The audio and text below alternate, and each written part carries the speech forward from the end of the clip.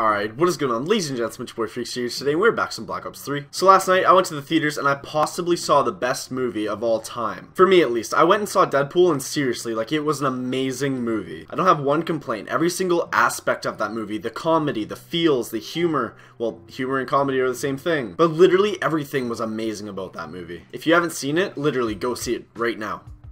Go click off the video. Go fucking watch it. I'm just kidding. Don't click off the video. I'm sorry. I'm joking. After this video, go watch it. It was seriously amazing, though. Go see it. If you guys aren't really into Marvel, you know, I mean, like, if you're not, you're not. If you are, you are. It's just, it's kind of a personal preference. Deadpool is, he's not a superhero. He's not a super villain, he's just kind of that happy medium. He's borderline villain, but you know, borderline superhero. He's not really one of anything. And oh my lord is he rude. But as you guys might know, it is an R-rated movie. It's not meant for kids. No. No kids. And, you know, because it has the Marvel label on it, well, people think it's all, you know, fun and games. You know, it's a superhero movie. Because when you think about it, all superhero movies are kid-friendly. And because the rules are different in America than they are Canada, Deadpool was ended up rated 14A, and it's actually rated R. And clearly one of the parents didn't get the memo, because she ended up taking her kid to the movie apparently, and she was standing outside of the theater. She was like, don't go see Deadpool. That was terrible. You know, it's so immature and rude and so inappropriate that I had to leave 15 minutes through because my kid wasn't able to watch that. Really?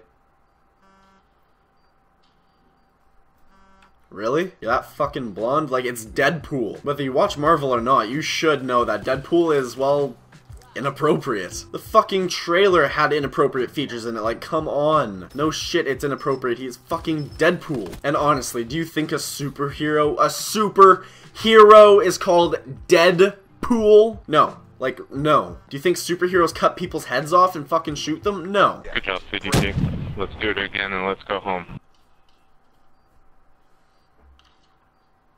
What the fuck? Did he seriously just say that? But seriously, on every single door or window or any, you know, noticeable place, there was actually a notice that Deadpool is incredibly inappropriate and that is not meant for kids and that if you're not with anyone over the age of 18, you're not allowed in. Clearly she didn't get that fucking memo. The one that was posted on the door. Like, seriously, are you seriously that just fucking transparent? Do you really not understand things that much? I don't know, it's just like, that just mind fucked me. I was like, seriously, uh, I'm not even gonna start again. So yeah, I guess that was a pretty funny part of the movie. Well, well, I mean, like the adventure of the movie. But in all seriousness here, seriously, if you haven't seen it, go see it. It was seriously such an amazing movie. Like, there was nothing wrong with it in my eyes. In a lot of people's eyes, actually. There's not a lot of people who really didn't like Deadpool. How couldn't you like Deadpool? There's boobs, there's butts, there's fucking full-on sex scenes. Amazing action, hilarious fucking humor, like everything was in that movie. And it was seriously produced and directed so well. Like, they knew what they were doing in that studio. They knew what kind of movie they were making. They fucking mastered it. Like, seriously, it has to be my favorite movie now. Like, it topped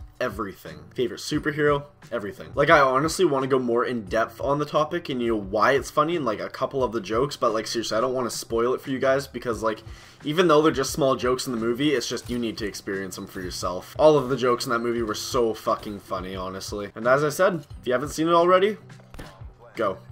Go go. I watched it last night and I already want to see it again. Like, I am actually considering seeing it in a couple days again. I will take any opportunity I can to go see Deadpool once again. It's in the theater. When a movie is that good in the theater, you must go a second time. I mean, I've never seen a movie a second time in the theater, so that's saying something. I always thought people were idiots for seeing movies a second time in the theater, but I mean, like, now? Oh, god damn. If a movie's like this, I understand. Like, seriously, do what you must for Deadpool. That shit's amazing. You guys are probably sitting there like, shut the fuck up. We get it. Deadpool's cool. Just, jeez. Gotcha, bitch.